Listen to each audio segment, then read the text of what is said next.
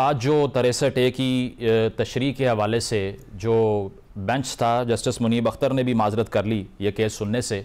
अब इसके बाद दोबारा से कल समात होनी है लेकिन तहरीक इंसाफ का इस पर मौक़ क्या होगा अगर मुनीब अख्तर साहब भी इस केस को नहीं सुन रहे? ये बेंच जो फैसला करेगा इसको भी आप कंटेस्ट करेंगे या एक्सेप्ट कर लेंगे? रहीम या का नाबुदो व या का नस्तीन देखिए जो आ, एक्ट में बात आई थी, उसमें यह, ये था कि बेंच तब तक नहीं बन सकता, जिस, जब तक तीन मेंबर कमेटी बैठ के बेंच डिसाइड ना करें, ठीक है? अब तीन मेंबर कमेटी जब बैठी नहीं थी, उनमें से एक कमेटी मेंबर ने एक्सक्यूज कर दिया था, उस कमेटी के ऊपर सवालात उठा के तो सवाल ये उठता है, ये बेंच बना क्यों इन द फ़र्स्ट प्लेस ये बेंच बन ही नहीं सकता।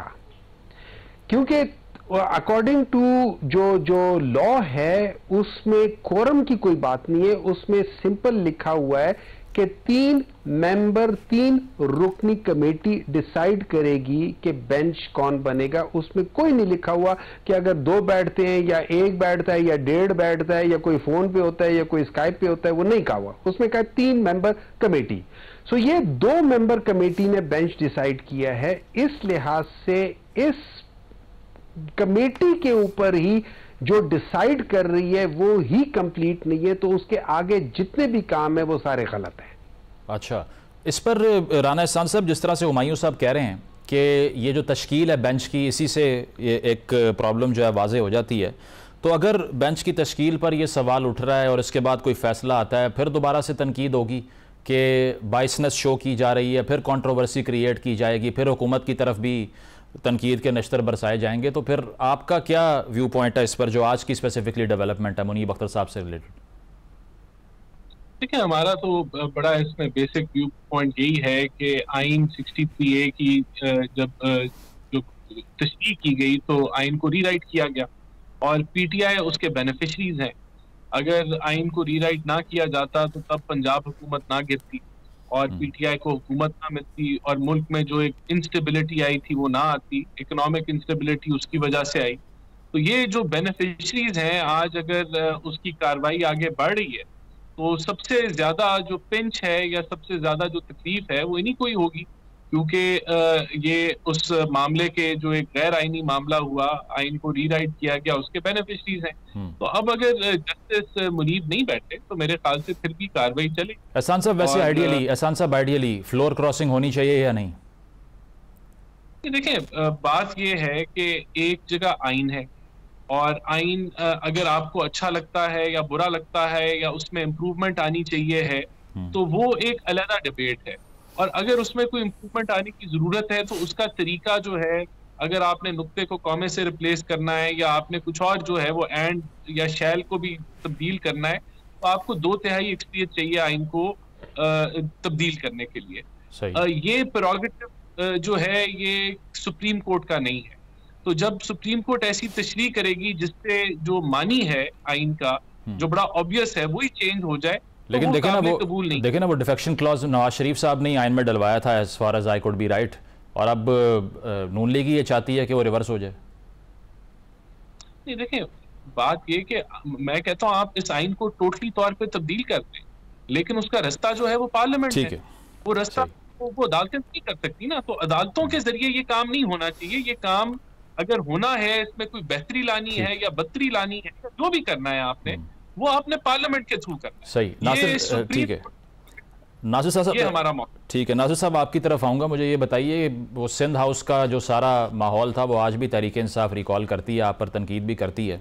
तो अगर तिरसठ ए का फैसला लस से हाइपोथेटिकली रिवर्स हो जाता है जिसका अगर इम्कान मौजूद है भी तो उस पर हाइपोथेटिकल डिबेट तो हो सकती है ना। अगर ये फैसला रिवर्स होता है तो फिर बहुत से लोग ये कहते हैं कि दोबारा हॉर्स ट्रेडिंग का कल्चर आ जाएगा, फिर बोलियाँ लगेंगी, फिर उम्मीदवार को ख़रीदा जाएगा। पीपल्स पार्टी ये फील नहीं करती कि फ्लड गेट खुल जाएगा दोबारा से इससे?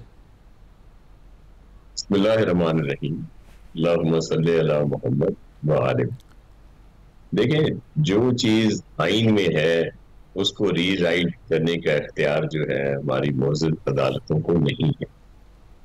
टाइम के लिहाज से ज़ाहिर अखलाकी तौर पर वो मुनासिब नहीं है, जो आप बात कर रहे हैं फ्लोर क्रॉसिंग की। लेकिन फिर क्या रास्ता है अगर no vote of no confidence को लाया जाता है? गवर्नमेंट के पास तो अपनी अक्सरियत होती है। ये तो अब है कि जी, चले मुख्तलिफ़ दो तीन पार्टीज़ आपस में मिलती हैं कोलेशन होता है, फिर जाके गवर्नमेंट की फॉर्मेशन होती है।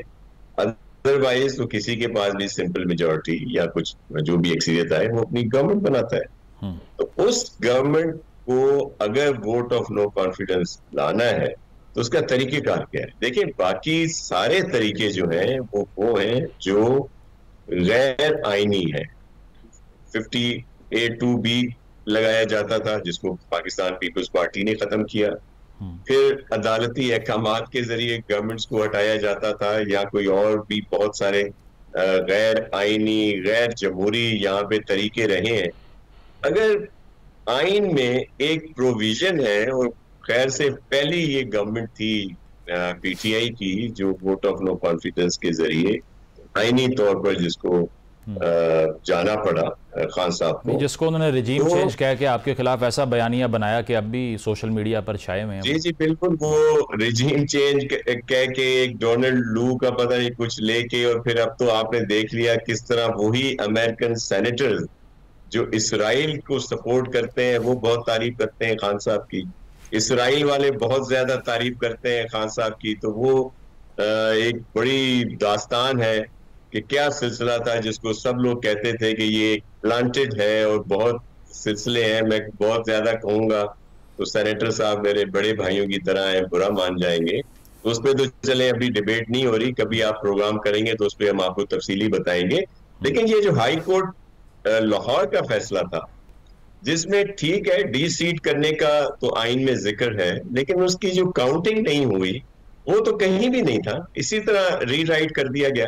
अभी सेनेटर साहब कह रहे थे कि जी वो जो फॉर्मेशन है या जो कमेटी बननी थी वो तीन रुकनी होगी तो होगी। लेकिन इससे अभी कुछ पंद्रह दिन पहले एक फैसला आया है जिसमें आठ या पाँच मेरे मोजिज जस्टिस साहिबान का कोई फैसला या कुछ आया। हम्म। उसकी भी तो पूरी जो रिक्वायरमेंट थी पूरी नहीं की गई जिसका नोटिस चीफ जस्टिस साहब ने लिया था।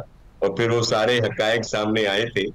इशू ये है कि जो चीज़ खुद को बेहतर लगती है वो तो ठीक है हम्म। दूसरों की तरफ़ चले जाए मिसाल के तौर पर ये बिल्कुल अभी बात होगी कि जी जमीर जो है लोगों के बिक जाते हैं आपको याद होगा एक दफ़ा सेनेट में चेयरमैन सेनेट का इलेक्शन था हम्म। जो पार्टीज़ थी गवर्नमेंट के अगेंस्ट उनके नंबर बहुत ज़्यादा थे बिल्कुल जब खड़े हुए तो ज़्यादा थे हम्म। जब वैसे वोट आए तो कम हो गए और दूसरों तब इन्होंने कहा जी वो जमीर जाग गए। जब इनके हक में कोई बात जाए तो लोगों के जमीर जागते हैं। ठीक ठीक जब वो कोई अपना सही फैसला दे तो उनके हम्म। जमीर बिक जाते हैं। सही। तो ये फैसला कौन करेगा? तो ये सिर्फ़ अपने मतलब की बात जो है ऐसा नहीं होना चाहिए। मतलब लेकिन नासिर साहब इसी इसी के इस, इसी के तनाजुर में आपने ये भी कंफर्म कर दिया कि जमीर जगाने का प्लान है वैसे आपका। नहीं मैं तो आपको वैसे एक बात मैंने की कि दूसरा तरीका क्या है? सही। किसी के खिलाफ वोट जाने का नो कॉन्फिडेंस अगर लिखा है इनमें तो कैसे जाएगा? ठीक है मैं जरा तो साहब का इस पे मौके ले लूँ देखिए फिर ज़ाहिर है फैसला हम्म। एक है कि वो डी सीट होगा दोबारा जाएगा इलेक्शन प्रोसेस में हम्म। वहाँ के हल्के के लोग फैसला करेंगे और ज़ाहिर है अगर किसी वो नहीं जीतता उसके हल्के वालों ने उसको रिजेक्ट कर दिया। हम्म। अगर जीतता है तो उसके फैसले को उन्होंने मान लिया। बिल्कुल तो ये सिलसिले आइन में है उन पर अमल होना चाहिए। रीराइट नहीं होना चाहिए। रीराइट नहीं होना चाहिए।